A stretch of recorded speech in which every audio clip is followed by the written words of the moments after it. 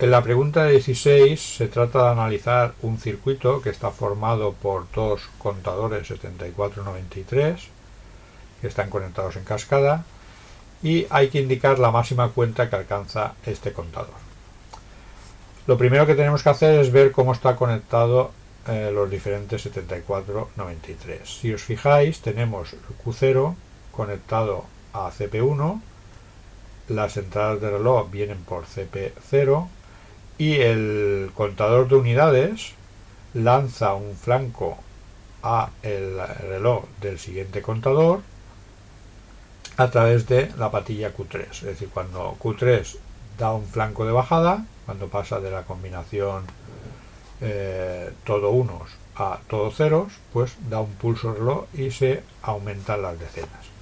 Luego este de aquí serían unidades y este de aquí serían decenas.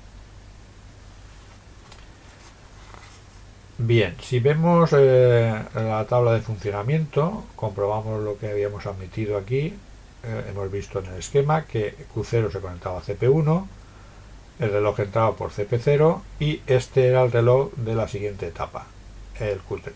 Y de esta forma se comporta como un contador hexadecimal. Es decir, que eh, va desde la combinación todo ceros, que tenemos aquí inicialmente, a la combinación todo unos, que tendríamos al final sería esta de aquí, la que estoy señalando ahora con el cursor. Bien. A partir de ahí, lo que hay que hacer es ver cuando se produce el reset. El reset de aquí es por unos, tanto en este como en este. Fijaros que está controlado por la misma puerta, por esta salida de la puerta AN. Y vamos a ver qué le entra a cada una de las entradas de esta puerta. En principio le entra Q3 de unidades, Q2 de unidades, y si seguimos la línea le, le entraría Q2 de decenas, sigo la línea y me quedaría Q1 de decenas, y la última Q0 de decenas.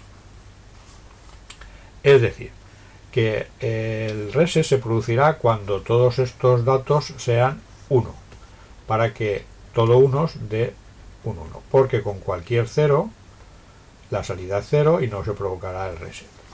Vamos a representar esto de esta forma. Q3, Q2, Q1, Q0, estas son las unidades y Q, bueno, vamos a poner primero las decenas aquí mejor, estamos más acostumbrados y esta unidades y esto decenas.